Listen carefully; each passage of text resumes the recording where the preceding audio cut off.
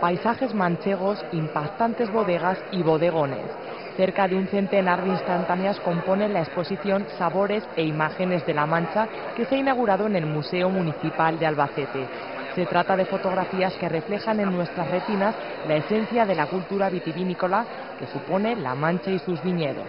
Además, poder exponer pues, esta colección que tenemos de, de fotografías, de obras que los artistas han querido exponer exactamente lo que es Castilla-La Mancha, lo que es nuestra tierra lo que es nuestra agricultura y indudablemente lo que verdaderamente somos, lo que hay detrás de una botella de vino o lo que hay detrás de un racimo de uvas.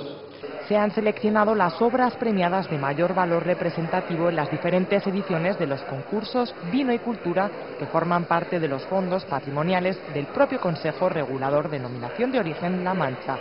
Se trata del decimoctavo certamen celebrado por el Consejo.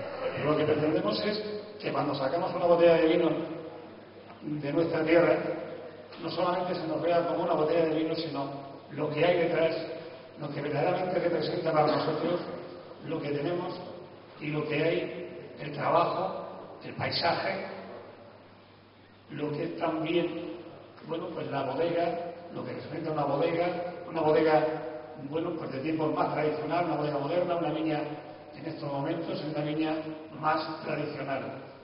La exposición comenzó su periplo en la azotea del Círculo Bellas Artes de Madrid en la primavera del 2012. Ahora y hasta el próximo día 15 de febrero serán los albaceteños quienes podrán admirar y gozar de esta exposición tan singular.